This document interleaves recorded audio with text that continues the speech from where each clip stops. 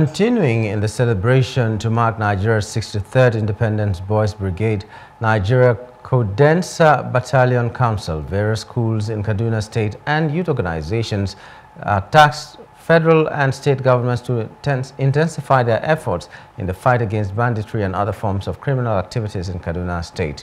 They made the call at the Unity Parade in uh, Maraban, Rido, Chikun local government area of the state to commemorate Nigeria's 63rd anniversary to showcase their patriotism to the nation, irrespective of religious, cultural difference and ethnicity as one Nigeria that is united. Plus TV news correspondent Habila Darafai filed in this report. Boys Brigade is one of the major groups that train, discipline children and youths in the fear of God to become better members of the society. Celebrating this year Independence Day, Boys Brigade members, Catholic cadets and school children came together in a march past parade to show the power of unity and diversity as a nation.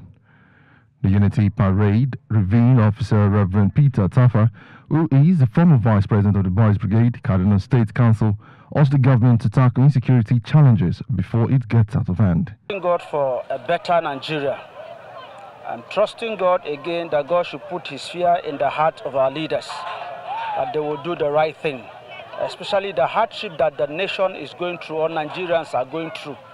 Our leaders should do the right thing, that the masses of this nation will enjoy. Again, our leaders should help to fight the insecurity that we are battling with now the thing is in the increase now. The chairman of the Boys Brigade Kudensa Battalion Council, Ezra Laden, says Boys Brigade has helped in shaping and instilling discipline in them to contribute in nation building, appealing to government at all levels to engage youth actively.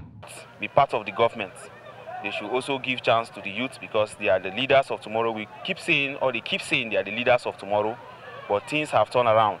But however, we're still calling upon them that they should call and then they should make use of the youth uh, in terms of uh, in terms of their appointments and uh, create job for the youth, not only job for the youth, but also empower the youth. Speaking, the patron of the Battalion Council says discipline, loyalty and self-control is the cardinal aim of the Boys Brigade, saying no nation grows when youth are not trained in the fear of God. The young ones have involved themselves in wrongdoings so this is why, that's the reason why we are trying to see that those that are coming closer to us, we try to see them walk, uh, at least follow the footsteps of our holy fathers.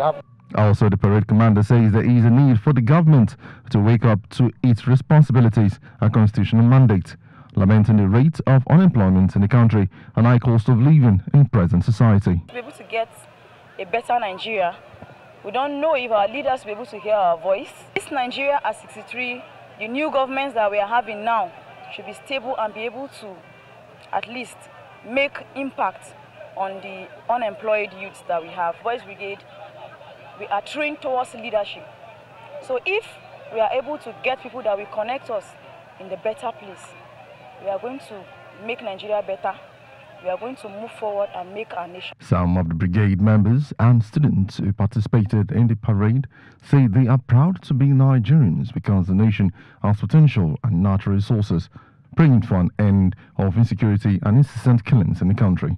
Nigeria have so many, so many potentials, country that so many people come to ask for resources to to be used. In this insecurity time, my prayer is that I pray that God is going to bring a helper, even though, even though it's a baby, that God should bring it for so that we shall be set free. Like the country Nigeria, and I will always be with Nigeria forever. And I'm proud to be a Nigerian. God guide and protect Nigeria.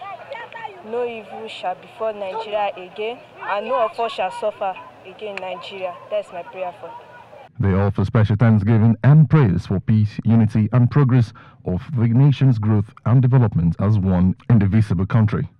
In attendance are Boys and Girls Brigade, parents, Catholic cadets, various school students in Chikun local governments of the state, among others.